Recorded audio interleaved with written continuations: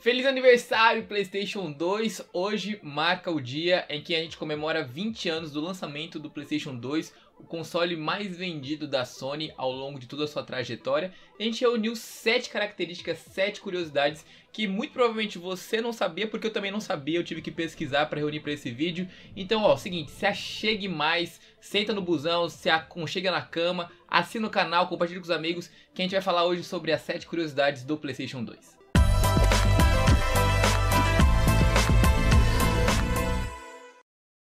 Salve salve família Playstation, meu nome é Rafael e hoje a gente reuniu as 7 curiosidades do Playstation 2 pra gente comemorar os 20 anos de lançamento do console mais vendido da Sony. O videogame foi lançado no dia 4 de março do ano 2000 e marcou um ano de trajetórias, marcou um período cheio de grandes lançamentos, cheio de títulos de grande sucesso. E a gente reuniu 7 características, 7 curiosidades que são referentes a tanto jogos quanto a plataforma em si. Sem mais enroleira, vamos direto pro vídeo que vai mostrar todas as curiosidades que são bem legais. Nada mais justo de começar essa lista de curiosidades falando sobre a popularidade do PlayStation 2. Todo mundo sabe que o console foi muito popular, mas o que pouco sabe é que a produção do console também foi muito longe, mas muito longe mesmo.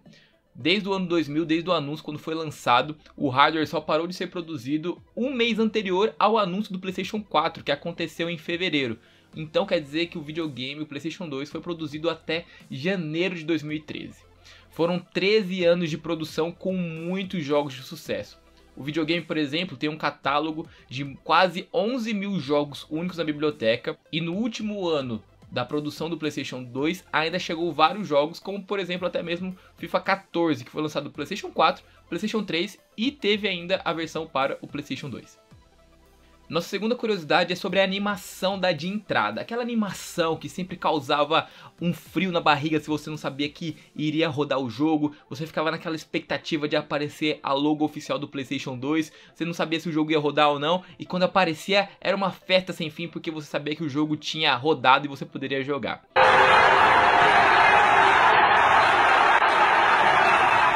Mas o que pouca gente sabe é que as torres de animação no início possuem um significado bem interessante.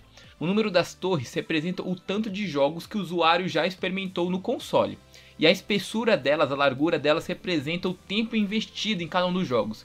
Eu fico imaginando quanto tempo você levou para descobrir isso, meus amigos, porque eu levei exatamente 23 anos, porque eu só fui descobrir isso essa semana. Vamos falar sobre joguinhos? A terceira curiosidade é sobre o último jogo lançado para o PlayStation 2. E adivinha qual foi? Adivinha qual foi? Sim, o nome da fera é Pro Evolution Soccer 2014. Foi o último jogo que chegou para o videogame, o PlayStation 2. O título da Konami foi produzido por ela, obviamente, e publicado no dia 6 de novembro de 2013 vai lembrar que o ano 2013 foi o ano que o PlayStation 4 foi lançado também. Nossa quarta curiosidade envolve tanto o PlayStation 2 como a própria Nintendo. Quando o console da Sony foi lançado, uma das coisas revolucionárias que teve foi o leitor de DVD.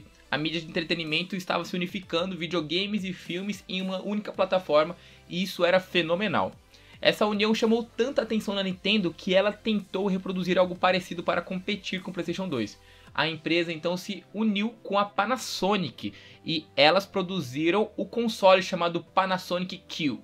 A gente não sabe até hoje se era um DVD player com videogame embutido ou um videogame com DVD player embutido. É simplesmente uma reunião de várias coisas que infelizmente não deu certo. O PlayStation 2 ofuscou totalmente o lançamento daquele daquele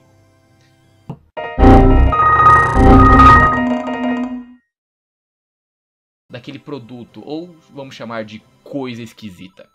Uma curiosidade especialmente para nós brasileiros. Para quem não sabe, o PlayStation 2 foi lançado no Japão e nos Estados Unidos no ano 2000. Mas você sabe quando é que o console chegou ao Brasil? Foi somente 9 anos após o lançamento. Sim, em 2009 foi quando o PlayStation 2 ficou disponível no mercado brasileiro para comprar. Durante todo esse tempo, os brasileiros tiveram que comprar no mercado estrangeiro, importando de outros lugares. Em meados de 2004, teve gente até que pagou quase 2 mil reais no console. E meus amigos, em 2004, 2 mil reais era basicamente equivalente a, sei lá, 10 milhões de reais e você reclamando do PlayStation 4 quando foi lançado a 4 mil reais. Nossa sexta curiosidade é um tanto quanto bizarra, digamos, para ser sincero. Muita gente expressa o amor aos videogames de várias formas, faz tatuagem, personaliza o quarto, coloca quadros, adesivos, pôsteres, todo tipo dessas coisinhas simples e que são bonitinhas, a gente até acha legal. mas teve um cara que zerou totalmente o nível de fanzice pela PlayStation. O britânico Dan Holmes chegou a trocar o seu nome legalmente para PlayStation 2 e exigia que todas as pessoas o chamassem de Mr. PlayStation 2.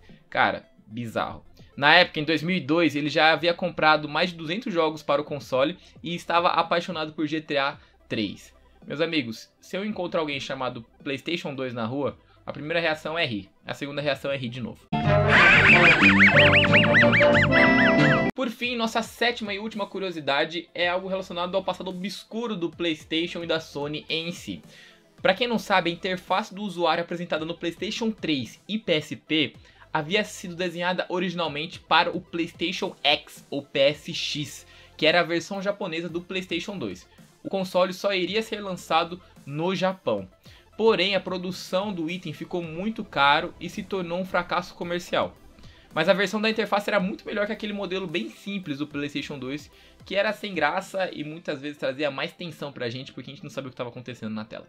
É isso, meus amigos. Essas foram as 7 curiosidades que nós separamos para o PlayStation 2. 7 curiosidades para a gente resgatar na nossa memória todas as boas horas de diversão, todos os, momentos de gameplay que nós tivemos no PlayStation 2. Cara, é difícil até fazer uma lista dos melhores jogos que eu já joguei no Play 2, mas cara, eu vou elencar apenas assim três que eu lembro, que é God of War, God of War é HackGU. Mano, o que eu joguei desse RPG, desse JRPG, meu amigo, você não tem noção do tanto que eu joguei.